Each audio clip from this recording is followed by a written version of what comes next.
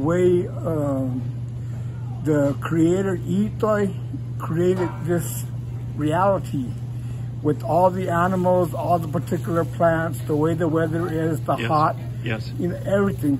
So what is what is That, what's your that what is what are- Tohono means to us. what's your name of the people that you belong to? Tohono O'odham, Which means in English, desert people. right? But okay, but desert is more descriptive than just that. It means creation with all the magic and mysteries of this creation.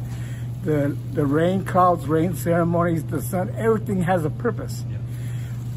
All of them means people, but it means we're the created people specifically put here in creation by that sacred mountain, Waukeari.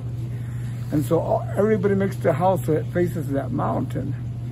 So we're not just a people, we are uh, uh, a spiritual being that was created for this reality.